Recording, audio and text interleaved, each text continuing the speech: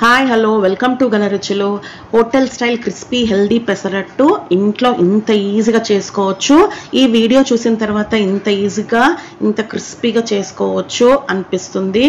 దీనికి ఫర్మెంటేషన్ అవసరం లేదు. చూడండి గోల్డెన్ కలర్లో ఎంత క్రిస్పీగా ఉల్లిపాయల పెసరట్టు చేసుకుందాము. మెత్తగా వస్తాయి కదా పెసరట్లు. అదొక్కటి యాడ్ చేయండి. ఇంత క్రిస్పీగా చేసుకోవచ్చు.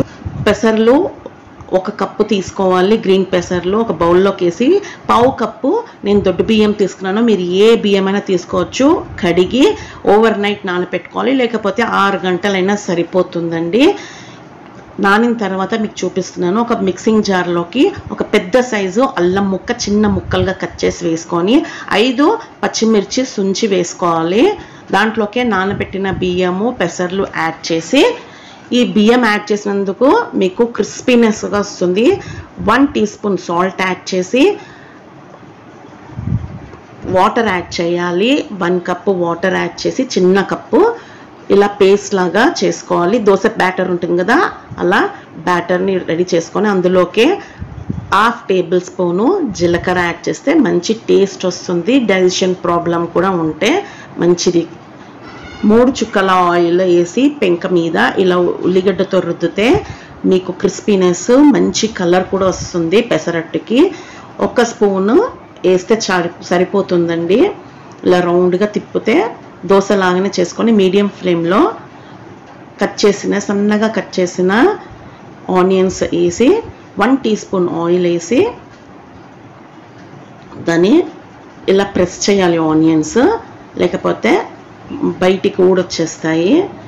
ప్రెస్ చేసి మెల్లగా కలర్ చేంజ్ అవుతుంది. క్రిస్పీగా గోల్డెన్ కలర్ వచ్చిన తర్వాత మనము ఇట్లా టర్న్ చేసుకొని తీసేసుకోవాలి. సర్వింగ్ ప్లేట్లకు చూడండి మగ్గిపోయాయి. ఆనియన్స్ కూడా చాలా బాగా. నెక్స్ట్ దోశ కూడా అట్లాగే ఒక్క సైడ్ టర్న్ చేయాలి. మళ్ళీ దీన్ని ఫ్లిప్ చేయొద్దండి. టర్న్ చేసి వెనక దిక్కు కాల్చొద్దు. ఎందుకంటే ఆనియన్స్ వేసాం కాబట్టి ఇంత క్రిస్పీగా వస్తాయి. మీరు కూడా తప్పక రైస్ యాడ్ చేయండి. అప్పుడు పెసరట్టు మెత్తగా రాదు క్రిస్పీగా దోశలాగా వస్తుంది. ఇప్పుడు ప్లెయిన్ పెసరట్టు చూపిస్తాను. ఏమి యాడ్ చేయకుండా కొంచెమంది పిల్లలకి ఈ ఆనియన్స్ వేస్తే ఇష్టపడరు కాబట్టి ప్లెయిన్గా కూడా మీరు ఇంతే చేయొచ్చు ఎక్కువ బ్యాటర్ వేయొద్దండి పెంక పైన.